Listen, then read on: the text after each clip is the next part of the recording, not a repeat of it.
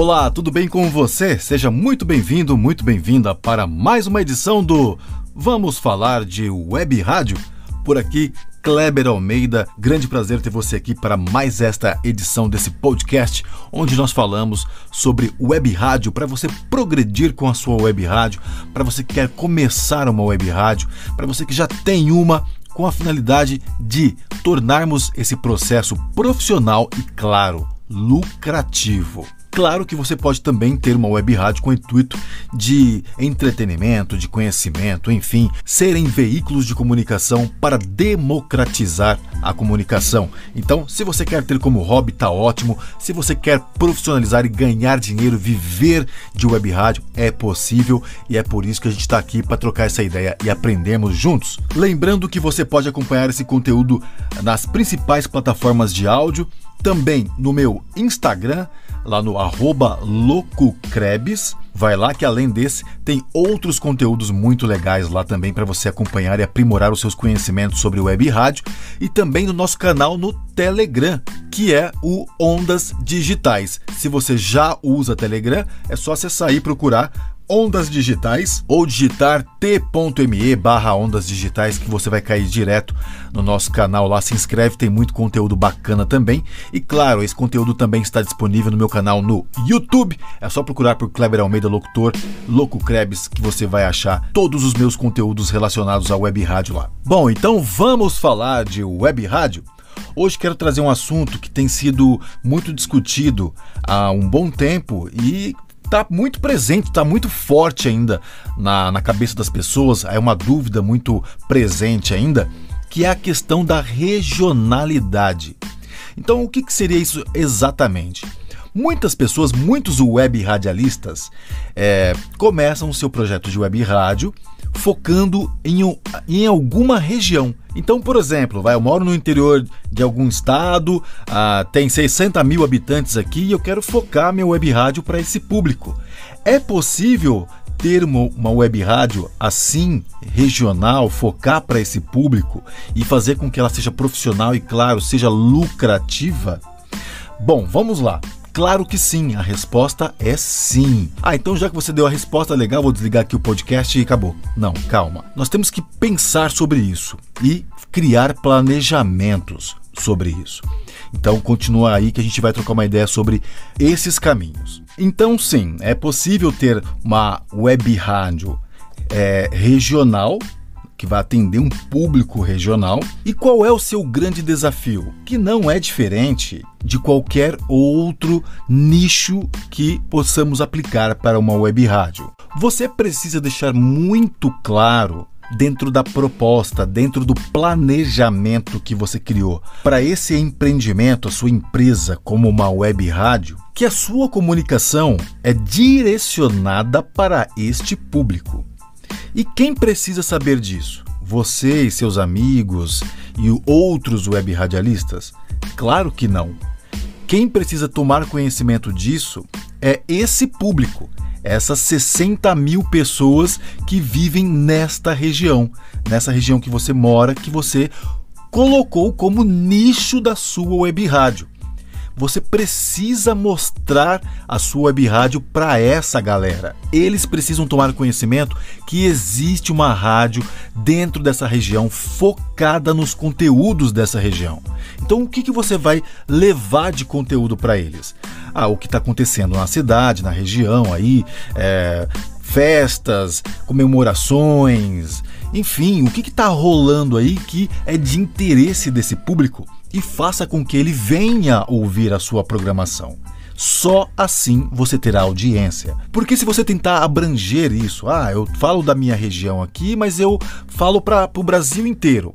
Legal, Algumas pessoas no Brasil podem ter interesse sim em compreender um pouco mais o que é a sua região, mas acredite, eu posso falar isso para você com muita garantia. Pessoas que não são da sua região podem até em algum momento parar para ouvir alguma coisa que interessou a ela em relação àquela região.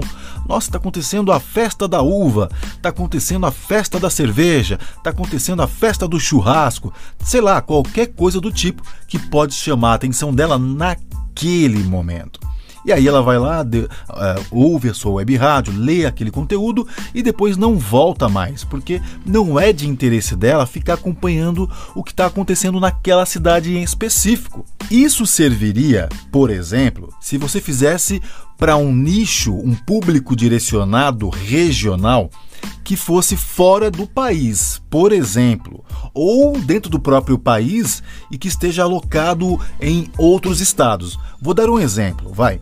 Aqui em São Paulo, na Liberdade, por exemplo, nós temos a comunidade japonesa, que é a maior comunidade japonesa fora do Japão. Então, sim, você pode criar uma web rádio com conteúdos voltados para a cultura japonesa para atingir esse público, essa região que seria a liberdade e, claro, outros japoneses que estão espalhados pelo Brasil e pelo mundo, que vão sim se interessar por esse conteúdo, porque aí é uma coisa mais abrangente, né? É a cultura japonesa, é a cultura de um país que você está atingindo de forma regional né? Você tem um público mais focado aqui em São Paulo, então você vai direcionar para ele, mas os outros japoneses que estão espalhados pelo Brasil vão acabar se interessando porque faz parte da cultura deles também. Aí sim você consegue estender mais, abranger mais essa audiência. Agora, quando a gente está falando de uma cidade do interior, alguma cidade não tão conhecida e que você quer construir conteúdo dessa cidade, quem vai se interessar por isso é, são apenas os moradores dessa cidade, porque eles vivenciam isso. Eles estão aí no dia a dia, eles sabem o que estão acontecendo, é o lugar onde eles moram, que eles vivem, que eles se divertem, que eles trabalham, que eles estudam, enfim, eles vivem isso, eles gostam dessa região. Então, claro, eles vão querer saber mais o que está acontecendo e você precisa mostrar isso claramente para eles com conteúdos relevantes é, que estejam relacionados a esta região. Claro Sempre. Não adianta você querer abraçar, fazer aquela velha história do eclético em tudo, em música, em conteúdo e tudo, porque aí você já não está mais regionalizando. Você está fazendo uma coisa geral. E aí, quando você consegue atingir esse público mostrar para ele claramente que você está conversando com ele, você consegue fazer o quê? Aumentar a sua audiência regional, ou seja, você vai ter aí um potencial de 60 mil pessoas, por exemplo, como a gente falou aqui no início que podem ouvir a sua web rádio. E quanto mais essa população vai tomando conhecimento e gostando da sua web rádio, a sua audiência vai subindo e o que, que você vai fazer? Você vai ter um Media Kit mais atrativo para mostrar para o comércio local. E aí sim você consegue fortalecer essa ideia de que cada comerciante local pode sim anunciar na sua web rádio, que embora seja na internet, você atinge aquele público local e você consegue provar isso com os dados. Lembra que dados é uma coisa muito importante? Temos que ter os dados ali do Analytics, os dados demográficos, é, idade, sexo, né, onde eles estão, que hora que houve, que dia que houve. E assim você vai conseguir atingir é, o comércio local. Agora, quando você faz algo genérico, né? A famosa eclética, fala com todo mundo, coloca todo tipo de música, está presente em tudo quanto é lugar. A sua maior audiência acaba sendo até mesmo fora do Brasil. E aí, como que você vai conseguir vender para o comércio regional? Você não tem como provar para ele que os anúncios que você colocar na sua web rádio darão retorno de venda para ele. E você precisa fazer isso você tem que garantir retorno de venda para ele, de acordo com o público que você está apresentando esse comercial, esse spot, esse anúncio, certo? Então imagina, se seu maior público é em Angola, como é que você vai vender os remédios lá da, da farmácia da esquina daquela região? Não tem como. As pessoas não vão comprar e logo o dono daquela farmácia não vai querer anunciar com você. Agora, para quem está querendo trabalhar de uma forma mais expansiva, como eu dei no exemplo ali da cultura japonesa, você consegue colocar é, muito mais abrangência territorial para atingir outros negócios, outros comércios, né? Outros possíveis anunciantes com você mesmo que seja da cultura XYZ. No caso, nós citamos a cultura japonesa, então você pode pegar empresas da internet também. Não só regional. Então, sei lá, ah, tem um portal que fala só de cultura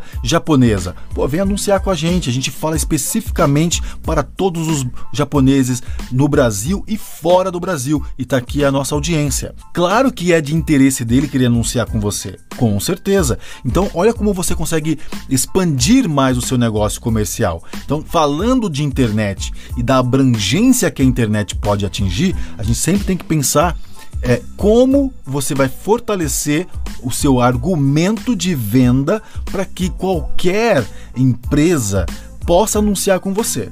Agora, quando a gente está falando de regionalidade, nós temos que fortalecer essa audiência regional para que os anunciantes local anunciem com você. Caso contrário, a sua estratégia comercial não vai funcionar de forma nenhuma.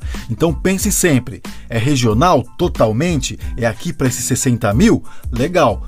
Vamos comunicar para esses 60 mil que a web rádio existe, que os conteúdos são bons, vamos fidelizar essa audiência e é assim que você tiver essa audiência em mãos, você faz a captação, você faz a prospecção na região. E aí sim você consegue ter bons resultados comerciais quando a gente fala de regionalidade. Muito obrigado por ter chegado ao final de mais uma edição do Vamos Falar de Web Rádio. E se você quer estender aí os seus conhecimentos sobre web rádio, acesse www.ondasdigitais.com.br. É o meu curso de web rádio, um curso super completo com vários vídeos exclusivos para você estender os seus conhecimentos, para você aprender mais e tornar a sua web rádio profissional e lucrativa. É para você que está iniciando numa web rádio e para você que já está na estrada e quer tornar o seu negócio profissional e lucrativo. Tenho certeza que você quer ganhar dinheiro com web rádio e o Ondas Digitais vai te dar todos os caminhos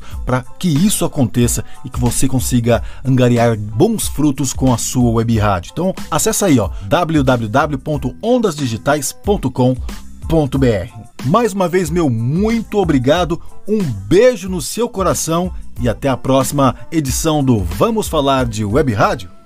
Tchau.